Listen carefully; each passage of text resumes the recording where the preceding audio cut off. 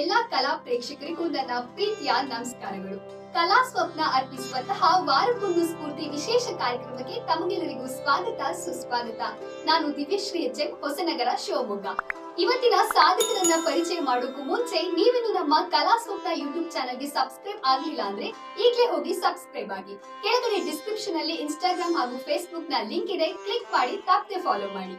ನಾನಿವತ್ತು ನಿಮಗೆ ಪರಿಚಯ ಮಾಡಿಕೊಡ್ತಕ್ಕಂತಹ ಮಹಾನ್ ಸಾಧಕಿ ಯಾರು ಅಂತ ಅಂದ್ರೆ ಅನಾಥ ಮಕ್ಕಳ ಮಹಾ ತಾಯಿ ಸಿಂಧು ತಾಯಿ ಸಫ್ಕಾನ್. ಪೂನಾ ರೈಲು ನಿಲ್ದಾಣದಲ್ಲಿ ಐವತ್ತು ವರ್ಷಗಳ ಹಿಂದೆ ಹಾಡುತ್ತಾ ಭಿಕ್ಷೆಯನ್ನ ಬೇಡ್ತಾ ಇದ್ದಂತಹ ಒಬ್ಬ ಅನಾಥ ಮಹಿಳೆ ಇಂದು ಸಾವಿರದ ನಾನೂರು ಬಡ ಮಕ್ಕಳ ಮಹಾ ತಾಯಿಯಾಗಿರ್ತಕ್ಕಂತಹ ಒಂದು ರೋಚಕ ಕಥೆ ಇದು.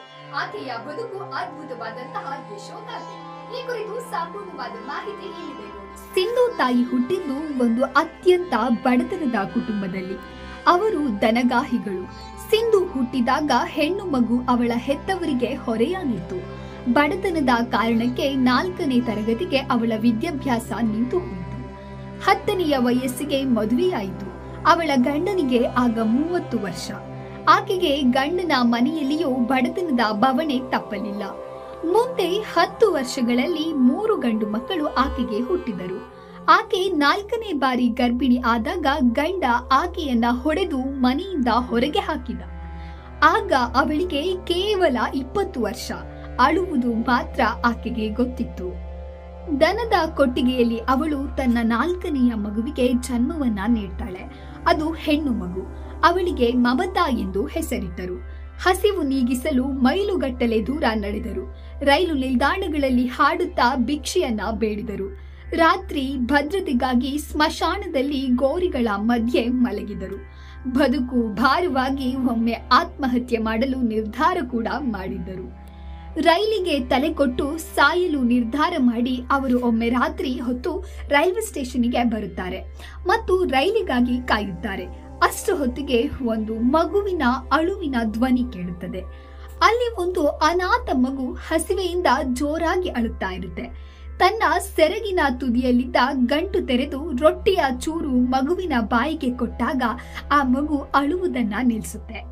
ಎಷ್ಟೋ ಹೆತ್ತವರು ಬಿಟ್ಟು ಹೋದ ಅನಾಥ ಮಕ್ಕಳು ಅಲ್ಲಿ ಇರೋದನ್ನ ನೋಡಿದಾಗ ಅವರೊಳಗೆ ಇದ್ದ ಅದ್ಭುತ ತಾಯಿ ಜಾಗೃತವಾಗ್ತಾಳೆ. ಆ ಮಕ್ಕಳನ್ನ ಸಾಕಬೇಕು ಎಂದು ಅವರು ನಿರ್ಧಾರವನ್ನ ಮಾಡುತ್ತಾರೆ. ಆತ್ಮಹತ್ಯೆ ಮಾಡುವ ನಿರ್ಧಾರವನ್ನ ಕೈಬಿಡುತ್ತಾರೆ. ಸ್ವತಃ ಅನಾಥೆಯಾದ ನಿಲ್ಲಲು ಆಶ್ರಯವಿಲ್ಲದ ಸಿಂಧು ತಾಯಿ ಆ ಮಕ್ಕಳನ್ನ ಸಾಕಬೇಕು ಎಂದು ನಿರ್ಧಾರವನ್ನ ಮಾಡಿಯಾಗಿತ್ತು. ಆದರೆ ಹೇಗೆ? ಹೆಚ್ಚು ಹಾಡು, ಹೆಚ್ಚು ಭಿಕ್ಷೆ ಮಾಡಿ ಬೇಡ್ತಾರೆ. ದಾನಿಗಳನ್ನ ಭೇಟಿ ಮಾಡಿ ಮನವಿಯನ್ನ ಮಾಡುತ್ತಾರೆ. ಎಲ್ಲೋ ಒಂದಿಬ್ಬರು ಸ್ಪಂದಿಸುತ್ತಾರೆ. ಉಳಿದವರು ಬಾಗಿಲು ಹಾಕಿದರು. ಹಲವರ ಸಲಹೆ ಪಡೆದು ಆಕೆ ಒಂದು ಎನ್ಜಿಒ ಸಂಸ್ಥೆಯನ್ನ ತೆರೆಯುತ್ತಾರೆ. ಪೈಸೆ ಪೈಸೆ ಒಟ್ಟು ಮಾಡುತ್ತಾರೆ. ಹಸಿವನ್ನ ಮರೆಯುತ್ತಾರೆ. ಚಪ್ಪಲಿ ಹರಿದರೂ ಲೆಕ್ಕಿಸದೆ ಕಾಲ್ನಡಿಗೆಯಲ್ಲಿ ಬಿಸಿಲಿಗೆ ಮಳೆಗೆ ಓಡಾಡುತ್ತಾರೆ. ಮಹಾರಾಷ್ಟ್ರದ ಹಡಪ್ಸಾರ್ ಎಂಬ ಸ್ಥಳದಲ್ಲಿ ಸನ್ಮತಿ ಬಾಲನಿಕೇತನ್ ಎಂಬ ಹೆಸರಿನ ಮೊತ್ತ ಮೊದಲ ಬೀದಿ ಮಕ್ಕಳ ಅನಾಥಾಶ್ರಮವನ್ನು ಅವರು ತೆರೆಯುತ್ತಾರೆ. ಪ್ರೀತಿಯಲ್ಲಿ ಪಕ್ಷಪಾತದ ನೆರಳು ಬೀಳಬಾರದು ಎಂಬ ಕಾರಣಕ್ಕೆ ತನ್ನ ಸ್ವಂತ ಮಗಳನ್ನ ಬೇರೊಬ್ಬರ ಅನಾಥಾಶ್ರಮಕ್ಕೆ ಸೇರಿಸುತ್ತಾರೆ. ಸರ್ಕಾರದ ಯಾವ ಅನುದಾನವನ್ನೂ ಕಾಯದೆ ಕೇವಲ ಸೇವಾಸಕ್ತ ದಾನಿಗಳ ನೆರವಿನಿಂದ ಆಶ್ರಮವನ್ನ ನಡೆಸುತ್ತಾರೆ. ಈಗ ಅವರ ಬದುಕಿನ ಹೋರಾಟಕ್ಕೆ ಐವತ್ತು ವರ್ಷ ತುಂಬಿದೆ.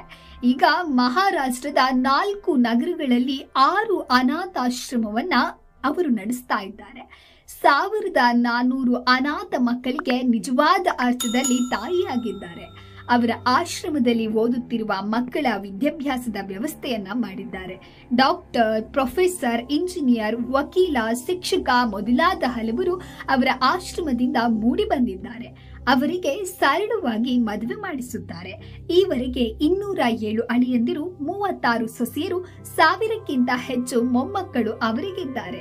ಅವರೆಲ್ಲರೂ ಆಕೆಯನ್ನ ಆಯಿ ಎಂದು ಕರೆಯುತ್ತಾರೆ. ಅವರ ಆಶ್ರಮದ ಒಬ್ಬ ಹುಡುಗ ಪದವಿ ಪಡೆದು ಅವರ ಬದುಕಿನ ಮೇಲೆಯೇ ಪಿಎಚ್ ಡಿ ಮಾಡಿದ್ದಾನೆ. ಸಿಂಧು ತಾಯಿ ದೊಡ್ಡ ವೇದಿಕೆಗಳಲ್ಲಿ ತನ್ನ ಬದುಕಿನ ಹೋರಾಟದ ಕಥೆಯನ್ನ ಹಿಂದಿ ಮತ್ತು ಮರಾಠಿ ಭಾಷೆಗಳಲ್ಲಿ ತುಂಬಾ ಪ್ರಭಾವಶಾಲಿಯಾಗಿ ವರ್ಣಿಸುತ್ತಾರೆ. ಮಂಜಿಲ್ ಬಹು ದೂರ ಹೇ, ಜಾನ ವಾಹನ್ ಜರೂರಿ ಹೇ, ರಾಸ್ತಾ ಮುಷ್ಕಿಲ್ಲೇ ಹಮೆ ಮರಾನ ಮಂಜೂರ್ ಹೇ ಎಂದು ಮಾತನ್ನ ಮುಗಿಸುತ್ತಾರೆ. ಬಂದವರ ಮುಂದೆ ಸೆರಗು ಹಿಡಿದು ಭಿಕ್ಷೆಯನ್ನ ಬೇಡುತ್ತಾರೆ. ಬಂದ ಹಣವನ್ನೆಲ್ಲ ತನ್ನ ಆಶ್ರಮಕ್ಕೆ ತಂದು ಸುರಿಯುತ್ತಾರೆ. ಸಿಂಧು ತಾಯಿಗೆ ಈವರೆಗೆ ಇನ್ನೂರ ಎಪ್ಪತ್ಮೂರು ರಾಜ್ಯ ಮತ್ತು ರಾಷ್ಟ್ರ ಮಟ್ಟದ ಪ್ರಶಸ್ತಿಗಳು ದೊರೆತಿವೆ. ಎರಡು ಸಾವಿರದ ಹದಿನಾರರಲ್ಲಿ ಒಂದು ವಿಶ್ವವಿದ್ಯಾನಿಲಯ ಅವರಿಗೆ ಗೌರವ ಡಾಕ್ಟರೇಟ್ ನೀಡಿದೆ. ಭಾರತ ಸರ್ಕಾರವು ಮಹೋನ್ನತ ನಾರಿ ಶಕ್ತಿ ಪ್ರಶಸ್ತಿಯನ್ನ ರಾಷ್ಟ್ರಪತಿಗಳ ಮೂಲಕ ಎರಡು ಸಾವಿರದ ಹದಿನೇಳರಲ್ಲಿ ನೀಡಿ ಗೌರವಿಸಿದೆ. ಪ್ರಶಸ್ತಿಗಳಿಂದ ಬಂದ ಅಷ್ಟು ಹಣವನ್ನು ಅವರು ಆಶ್ರಮದ ಖರ್ಚಿಗೆ ವಿನಿಯೋಗಿಸಿದ್ದಾರೆ. ಹೆತ್ತ ತಾಯಿ ಒಂಬತ್ತು ತಿಂಗಳ ಕಾಲ ಮಗುವನ್ನ ತನ್ನ ಗರ್ಭದಲ್ಲಿ ಹೊತ್ತು ಜನ್ಮ ನೀಡಿ ಕಣ್ಣಿನ ರೆಪ್ಪೆಯಾಗಿ ಕಾಯ್ತಾಳೆ. ಆದ್ರೆ ದೇವರು ಕೆಲವರಿಗೆ ಆ ಭಾಗ್ಯವನ್ನ ಕಸಿದುಕೊಂಡಿರ್ತಾನೆ. ಇನ್ನು ಕೆಲವರು ಆ ಅದೃಷ್ಟ ಇದ್ರೂ ಮಕ್ಕಳನ್ನ ಸಾಕಲಾಗದೆ ಹಲವು ಕಾರಣಗಳಿಂದ ತಾವು ಹೆತ್ತು ಹೊತ್ತ ಮಕ್ಕಳನ್ನ ಎಂದೂ ನೋಡದೆ ಬೀದಿ ಬದಿಯಲ್ಲಿ ಬಿಟ್ಟು ಹೋಗ್ತಾರೆ. ದೇವರು ಹಲವು ಬಾರಿ ಈ ಮಕ್ಕಳ ಲಾಲನೆ ಪಾಲನೆಗೆ ಎಂದು ಮನುಷ್ಯನ ರೂಪವನ್ನ ತಾಳಿ ಬರ್ತಾನೆ. ಆ ದೇವರ ಪ್ರತಿರೂಪವೇ ಸಿಂಧು ತಾಯಿ ಸಬ್ಕಾಲ್